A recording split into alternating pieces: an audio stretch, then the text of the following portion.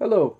Um, I've been messaged by quite a few people recently that uh, don't believe me when I ha- say that I have Windows 98 running on a fairly modern system. And um, ironically, most of these messages and comments were about a video that I posted uh, a year ago or even more, uh, where I had it running on a Phenom 2 X2 um, CPU uh, with a fairly outdated, well, nowadays outdated, AMD chipset, the 785. Um, and that's not even the most unbelievable thing. Um, obviously, now I have made videos about it running on an i5 computer, which is a bit more um, sensational, I would say, because um, the newer platforms obviously uh, rationalized uh, away a lot of um,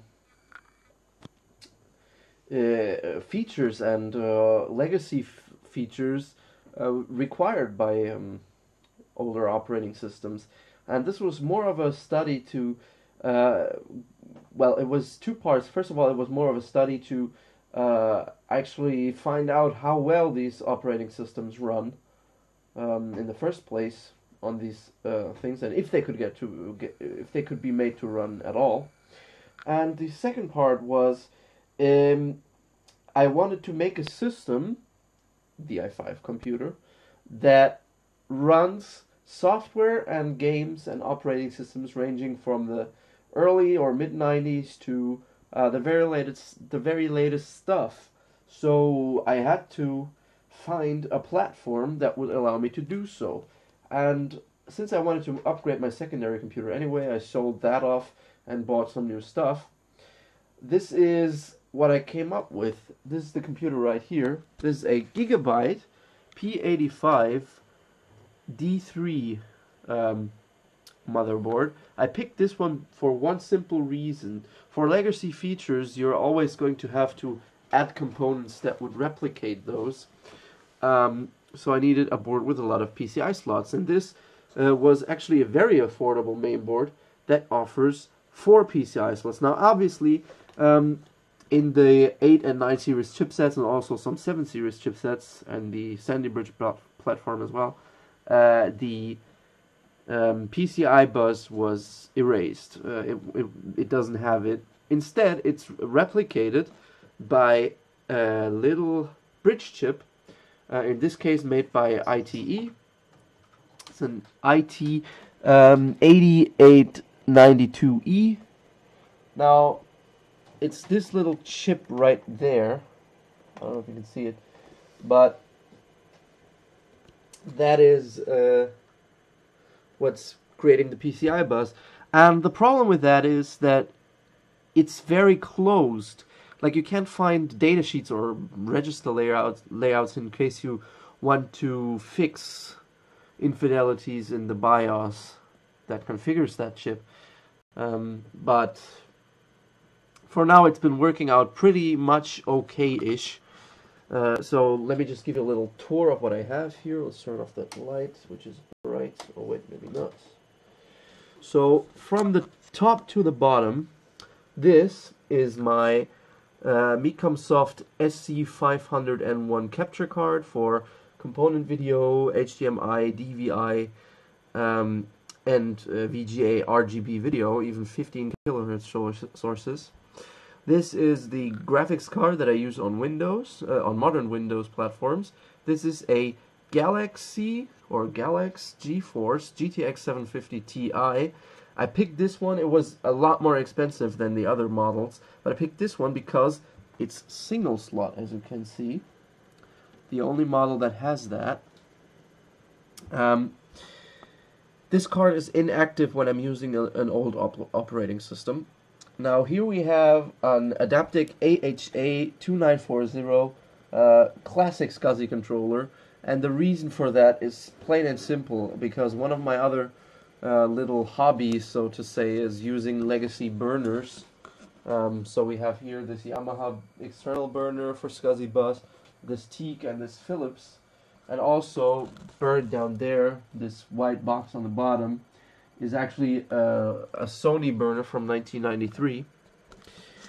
Um, and it's all handled by this SCSI card. Now moving down one slot, this is an Aztech PCI 168AP sound card based on the ASFIN 3328 chipset. I picked this sound card because out of all the sound cards I have, this is the only one that will give me sound, um, sampled or Sound Blaster compatible sound in DOS applications. And I've tried quite a few, and I have a few more coming in from eBay that I'm going to test, like uh, Forte Media uh, FM801 or um, uh, Aureal Vo Vortex, or um, let's see, there was one more. Um, oh yeah, it was a Crystal CS4624 AC97 compatible codec that is also said to have several different methods of achieving Sound Blaster compatibility. So I'll see how that goes when when it comes in. Moving one slot down, this is kind of a bummer because it has a Realtek chipset on board that is an early enough revision to have a working driver for Windows 98, but unfortunately uh, not Windows NT, like the Realtek one, uh, 8168 or 8110 or 1, I don't remember quite off the bat right now. Um, never got NT4 drivers, unfortunately, so I had to do this this is a PCI Realtek 8169 card, uh, gigabit Ethernet. And the problem with that is that on Windows 98 it does not um, it does not boot on this system with the standard Windows 98 drivers. So I had to use the legacy feature of using NDIS2 DOS drivers, which actually works fine, but it's not the fastest option. Obviously, I can't get it past like 28 megabytes per second which is fast enough. Obviously, it's faster than fast Ethernet, but it's not ideal, but it'll serve the purpose. Now, moving one slot down, this is also kind of a bummer because while I have managed to get the onboard SATA ports working on Windows 98, Windows NT is extremely picky on the modern systems whether it will boot or not. So I had, I had to use this for the older operating system. This is a Promise SATA 150 TX2 Plus. Um, uh, SATA PCI SATA controller card. And since I needed a parallel port, this mainboard features two COM ports and a parallel port he a header. Um, I was quite uh, quite clever, if I say so myself, because this bracket actually doesn't belong to the SATA card, but actually it's a parallel port header bracket. But there is just enough space to have the PCI card in the same slot there. Uh, obviously, the bracket is not attached to that. And on the bottom here, this is a second PCI Express uh, X16 slot. It's running internally at X4. And it's uh, GeForce 7800 GTX. Uh, it's quite an old card, obviously, but it's the last card that has uh, driver support for both NT4 and 98. Um, obviously on Windows 98 you can actually go higher. I have a 7900 GT um, here that'll do the job on Windows 98, but uh, the last Windows NT driver to be released was 77.72, which has one entry for the 7800 GTX, ironically. I don't know why they kept that for Windows NT. And the amazing thing is, even though that Windows, even though Windows 98 got driver support up until version 8.1.98, um, it never got an official entry for uh, the 7 series, which is quite odd because 7 series uh, support is very functional in the um, NVIDIA drivers for Windows 98. So I'm able to use this with a modded driver that isn't uh, that is is modded to have the entries for that in the init file. Uh, what else can I say about this? Um, here we have the hard disks. Here we have the um, 160 gigabyte Western Digital drive, which is connected to the Promise controller. This has all the older operating systems on it and this is my 500 gigabyte Seagate drive which is connected to the onboard uh, SATA ports. This actually is for Windows XP and 7 maybe 8 later too but we'll see. Um, 7 is already set up. And um, Windows 98 2 Windows NT was running earlier, but I um, decided to change the hard disk configuration a bit, so it's not installed at the moment. Um, but yeah, um, I have eight gigabytes of o- OCZ RAM. This is one stick. Um, the problem with this was before I got this board, I had didn't find a single board which this would boot on because this RAM just sucks and um, to achieve its rated timings it needs 1.9 volt. I can I can't even go higher than 1.7 volts on this motherboard, but on this motherboard this RAM actually works stable at 1333 and even 1600 speeds um, if I set the timings accordingly a bit higher uh, to cope with the lower voltages. Um, right now I only have 2 gigabytes installed uh, for the simple reason that I was testing something earlier and just couldn't be arsed to put it back yet. this is a, a, LC Power cooler sitting on top of, an, of a Core i5 4500 uh, four, no 4670 that's it um, pretty good CPU it's a quad core obviously and um, yeah, that's uh, mm, what's running the whole operation. This is a some Delta power supply, 350 watts, dual rail, does the job. Um, now, I got a bit clever with the IDE port here because um, I couldn't find, I, I, could, I didn't want to sacrifice conventional memory or uh, other things to run DOS games in pure DOS if I had the need to. And I wanted CD audio, so I got this little thing here. Um, obviously, SATA drives they don't have the audio outputs on the on the drives, but this IDE controller here that I bought for five euros uh, on eBay actually does the job quite well. Uh, I had to fiddle around with it a bit because it has a header that doesn't have pins on it, but I bridged those and then suddenly it started working. I don't know why.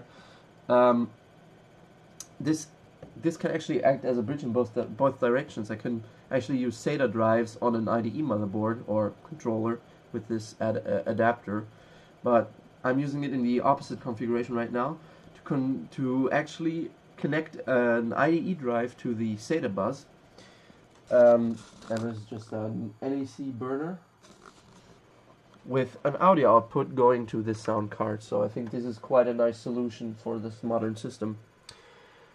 Uh, what else? Yeah, that's that's pretty much it. So let's boot this thing. I have it in the boot menu here right now. You can see um, it lists my Adaptec SCSI adapter as legacy SCSI card. This is the uh, Promise SATA controller. This is the Windows 7 drive, the 500 gigabyte one. This is the IDE drive. As you can see, it's being detected. Um, so yeah, let's just put Windows 98 here. Oh wait, this is important. Um, let's pause this. This is a tool written by a guy called Rayer, Martin Rehak, uh, which enables routing of a signal that is disabled on modern uh, south bridges. And supposedly that's going to fix some compatibility issues with DOS games and PCI sound cards. I didn't really notice a change, but it detects a PCI bridge that supposedly gets, you know, fixed successfully. So I just keep it in there in the auto exec. Oh yeah, I turned off the system earlier. Um, yeah, let's wait for it to boot here. You can see for a brief second the configuration screen of the uh, DOS Realtek Gigabit Ethernet driver.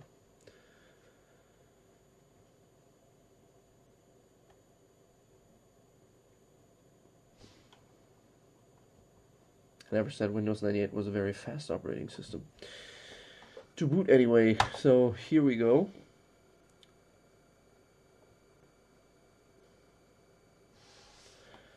Um, yeah let's tour the uh, device manager. So it looks like it looks a bit like a mess, um, and it's all a bit hacky. This is my custom version of Windows 98 called Windows 98 SE Plus, which has most most of the updates and fixes already um, integrated. It's a private distribution, so no, you can't have it. Um, and it has a quite a large driver database. This is quite interesting. You can see the hard disk controllers um, um, group, and you can see that it says SATA controllers. That's actually a patch I bought made by Rudolf Löw, um, who wrote a patch to support the SATA controllers, the onboard SATA controllers, because Windows 98 has an interesting quirk. As far as I understand it, its its IDE driver is rooted in the in the very early days of uh, computing. Well, not that early, obviously, but it supports only two uh, two eIDE channels, meaning four drives, and these have quite a bit more because you can connect six, sometimes eight or ten drives, and Windows gets confused by that and will never actually boot. It'll throw a blue screen about a PCI IDE controller running in compatibility mode, but it'll never actually boot. So I got this patch. I bought this patch uh, for ten dollars. I don't know. I I don't. I didn't like shedding money out to patch an old operating system like this, but you know I like toying around with these things, so I just couldn't stop myself. Um, so yeah, that's working. Um,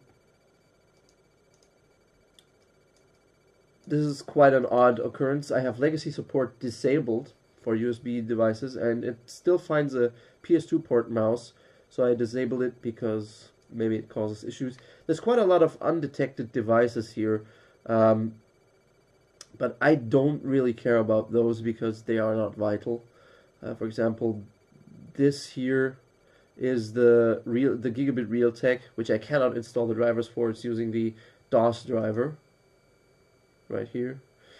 Um, the PCI multimedia device is the onboard audio that I have uh, that I don't have disabled in case I need it on Windows 7. Serial controller, I don't know what that is. The SM bus obviously has no driver on Windows 98. PCI card, I have no idea what that is either. PCI communication device, eh, who knows? I don't, I don't even know. But yeah, here we have the Soyuz SCSI controller. Now you might wonder what that is. That's just a virtual device created by Alcohol 120 uh, for virtual CD-ROM. This is the Promise controller. Uh, you might notice that a few of these driver names are abbreviated, but that's because the driver database is so big, it actually goes above the limit uh, in the internal database that stores all the names. So I shortened the name so the driver database doesn't get too big. So you can't really know what the devices are, but at least Windows won't crash whenever you install a device. Um, this is the Aztech sound card with its legacy device. Uh, no, this one I think. Nope, this one. Yeah. Here you can see all the resources, the uh, I.O. range, the 220 classic Sound Blaster range, 388 classic OPL3 range, uh, the DMA channel, interrupt request 5, all the standard stuff. Um, I showed Doom running on that earlier. This is the GeForce GTX 750 Ti. I disabled it to avoid resource conflicts. This is I. There's a floppy disk controller, even though the mainboard doesn't even have a floppy disk controller. That's quite funny. Um, this is a GTX 7800. It can even show that here in the NVIDIA control panel. Here you see it. Oh, it's a five, for 570. Sorry, not a five, for 670. Here, a PCI Express X4, plenty, plenty of speed for this purpose. 256 megs of VRAM, 700 GTX.